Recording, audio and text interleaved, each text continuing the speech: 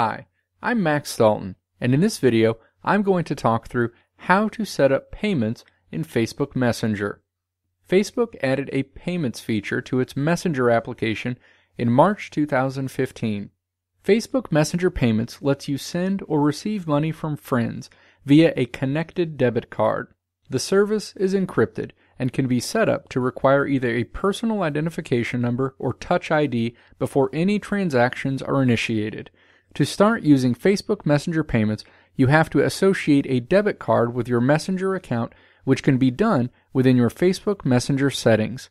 And now, the steps to set up payments in Facebook Messenger. Step 1. Launch the Facebook Messenger app on your smart device. Step 2. Tap your profile image that appears in the upper left corner of the screen.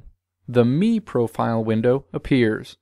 Step 3. Select Payments. The Payments screen appears. Step 4. Tap Add New Debit Card in the Payment Methods section. The new debit card window appears. Step 5. Enter your debit card number, the month and year associated with the expiration date, security code, and billing zip code. Tap the blue Save button in the upper right corner after entering that information. You'll be returned to the payment screen where you'll see the debit card you just entered information for listed in the Payment Methods section. Step 6. Scroll down to the Security section and then tap PIN. The Create PIN window appears where you'll be prompted to create a four digit personal identification number.